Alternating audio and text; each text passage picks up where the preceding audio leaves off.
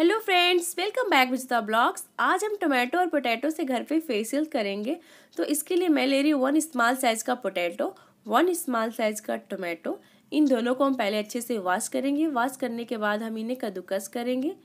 यहाँ पे मैं कद्दूकस इसलिए कर रही हूँ ताकि मैं इनका जूस अच्छे से निकाल सकूँ। आप चाहें तो इन्हें मिक्सर में पीस कर इनका पेस्ट भी बना के यूज़ कर सकते हैं, पर मुझे कद्दूकस करना ज़्यादा ईजी लगा। तो मैं यहाँ पर इन्हें कद्दूकस कर रही हूँ। मैंने पोटैटो और टमाटो को फेसियल के इसलिए लिया है ताकि हमारे स्किन की जो प्रॉब्लम्स होती है, बहुत अच्छे से ये दूर हो जाती है, जो हमें सनटेन हो गए, जाती हैं, या जो हमारे स्किन पे काले धब्बे होते हैं डार्क स्पॉट होते हैं, जो झाइयाँ होती है पिगमेंटेशन की प्रॉब्लम्स होती है, जो रिंकल्स वगैरह हो जाते हैं, ये दोनों इंग्रेडिएंट्स बहुत ही अच्छा वर्क करते हैं इन सब चीज़ों के लिए।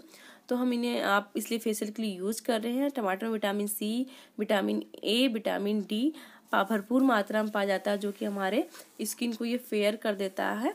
तो आप देख सकते हो कि हमारे दोनों ये कद्दूकस हो चुके हैं। अब हम इनका जूस निकालेंगे आप चाहें तो किसी चाय छलनी के थ्रू भी इसका जूस निकाल सकते हो, पर मैं यहाँ पे इन्हें हाथ से ही निचोड़ के जूस निकाल ले रही हूँ। मैंने पोटैटो और टोमेटो का जूस एक तरफ़ कर लिया और जो बचे हुए हमारे कद्दूकस किए पोटैटो, टोमेटो है, उनको मैं दोनों एक में कर ले रही हूँ। इनका मैं स्क्रब और फेस पैक में यूज़ करूँ, जो जूस है उनका फेस पैक में यूज़ करूँ, जो कद्दूकस किया हुआ उसका स्क्रब के लिए मैं यूज़ करूँगी। तो स्क्रब वाले मैं वन स्पून सुगर्स ऐड कर रही हूँ। अब यहाँ पे हम फ़र्स्ट स्टेप में करेंगे क्लिनजिंग क्लिनजिंग आप फेशियल करने से पहले आप अपने बालों को ज़रूर सिक्योर कर लें, ताकि आप, जो भी आप क्रीम वगैरह हो, आपके बालों में न लग जाए। तो क्लिनजिंग के लिए मैं यहाँ पे ले रही हूँ कच्चा दूध, और इसमें ऐड कर रही हूँ कुछ गुलाब के जल की बूंदे, दोनों ही इंग्रेडिएंट को आपस में अच्छे से मिक्स कर लेंगे। फिर कॉटन की सहायता से इसे अपने फेस पे अप्लाई करेंगे। क्लिनजिंग करने से हमारे फेस पे जो डस्ट वगैरह हो जाते हैं, वो बहुत अच्छे से रिमूव हो जाते हैं।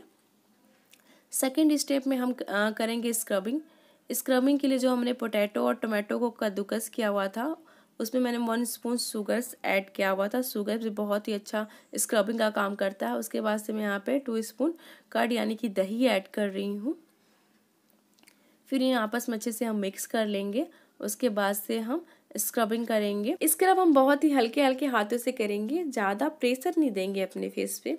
ज़्यादा प्रेशर देने से क्या होता है कि हमारे स्किन को डैमेज होने के चांसेस ज़्यादा रहते हैं, इसलिए हम बिल्कुल हल्के हल्के फिंगर की सहायता से स्क्रबिंग करेंगे। आप देख सकते हो कि मैं कैसे स्क्रब कर रही हूँ, आप ऐसे कर सकते हैं। मैं सिर्फ़ फाइव मिनट तक ही स्क्रब करना है।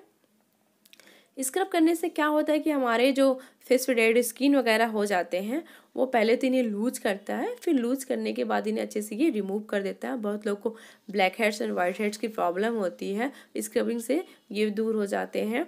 जो हमारे ओपन पोर्स में डस्ट वगैरह बैठ जाता है, वो इन्हें अंदर से जाके क्लीन कर देता है। हमारे ओपन पोर्स को भी ये छोटा कर देता है। ये भी प्रॉब्लम हमारा स्क्रबिंग से सॉल्व हो जाता है।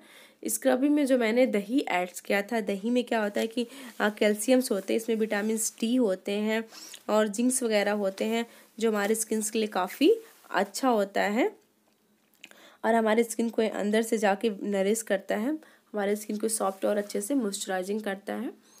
सो so, आप यहाँ पे हमारा स्क्रबिंग स्टेप कंप्लीट हो गया इसके बाद फेस को वॉश कर लेंगे। हम बढ़ते अपने थर्ड स्टेप की तरफ़। थर्ड स्टेप में हम बनाएँगे मसाज क्रीम मसाज क्रीम के लिए मैं यहाँ पे ले रही हूँ टू स्पून चावल का आटा। ये ऑप्शनल है। आप चाहें तो बेसन का भी यूज़ कर सकते हो।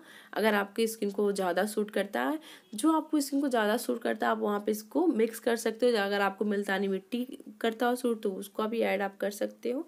यहाँ पर मैं हाफ़ स्पून हनी ऐड्स कर रही हूँ। हनी में एंटीऑक्सीडेंट होते हैं। ये भी हमारे स्किन पे जो दाग धब्बे होते हैं, इन्हें अच्छे से ये रिमूव करने का काम करता है। हमारे स्किन में एक कसाव सा आता है, इसलिए मैं यहाँ पे हनी का ऐड कर रही हूँ। जो हमारे पोटैटो और टोमेटो के जूस थे, इनको भी मैं इनमें अच्छे से मिक्स कर ले रही हूँ, क्योंकि हमारे ये मेन इन्ग्रीडियंट्स हैं। उसके बाद से मैं यहाँ पे वन स्पून अगेन दही एड्स कर रही हूँ।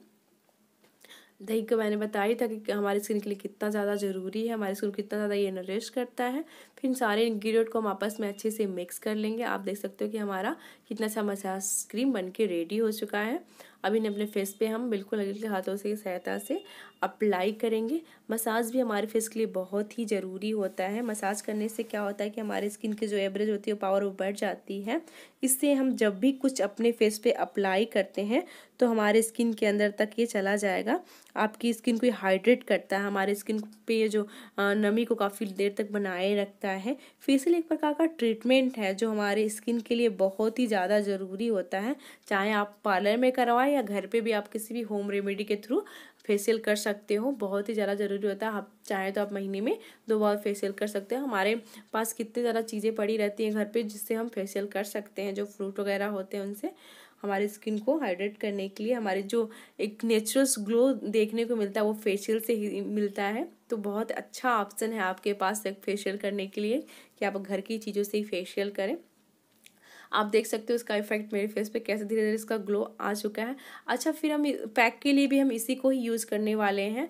हम इसे फेस पे अपने टेन मिनट तक छोड़ देंगे, फिर ये ड्राई हो जाएगा, जो फेस पैक का काम करेगा। पैक का यूज़ करने से क्या होता है कि हमारी स्किन में काफ़ी ज़्यादा टाइट कसाव सा आ जाता है। तो मसाज क्रीम के बाद पैक भी बहुत, उतना ही ज़रूरी है जितना कि मसाज और स्क्रबिंग ज़रूरी है। इसलिए इसे हम अब टेन मिनट तक अपने फेस पे छोड़ देंगे और ये ड्राई हो जाएगा। उसके बाद से हम कर लेंगे अपने फेस को वॉश फोर स्टेप में हमारा फेस पैक भी कंप्लीट हो गया। फेस वॉश करने के बाद अपने फेस पे कोई भी मॉइस्चराइजर लगाना ना भूले, जो कि आपके फेस को सूट करता हो। मैं यहाँ पे एलोवेरा जेल अप्लाई कर रही हूँ, जो कि हमारे स्किन को काफ़ी से मॉइस्चराइजिंग करता है ये।